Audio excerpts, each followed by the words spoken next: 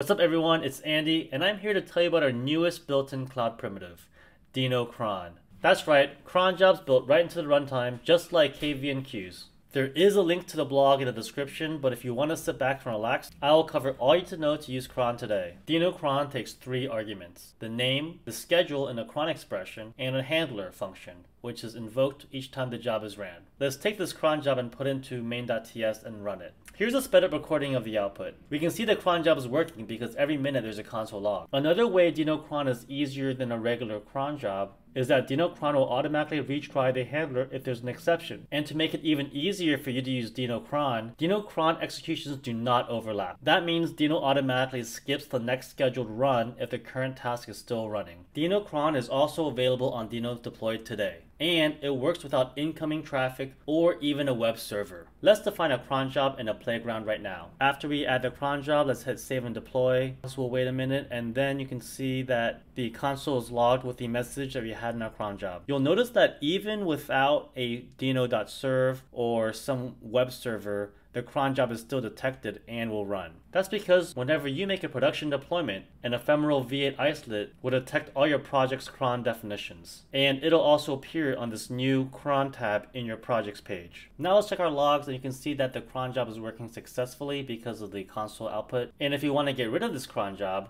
all we have to do is comment it out and redeploy. Going back to the cron tab, you'll see that there are no longer any cron jobs. And if we check the logs, you'll notice the cron output is gone too. And that's it for Deno cron. For more details, check out the blog post and the documentation. And if you have any questions, please let us know in the comments or on Discord.